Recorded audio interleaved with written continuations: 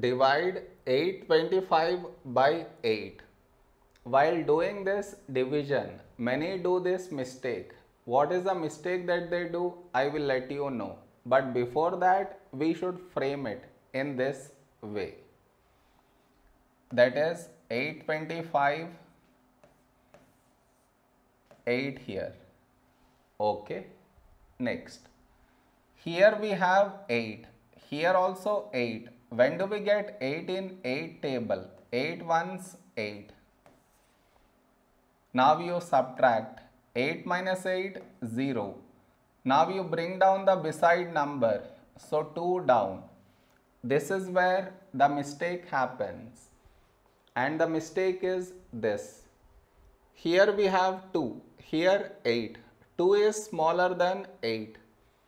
So what many do is they directly bring down the other number. So 5 down. Over here, whenever you are bringing down two numbers, two numbers, then compulsory put 0 in the quotient. I repeat, whenever you are bringing down two numbers, then compulsory put 0 in the quotient.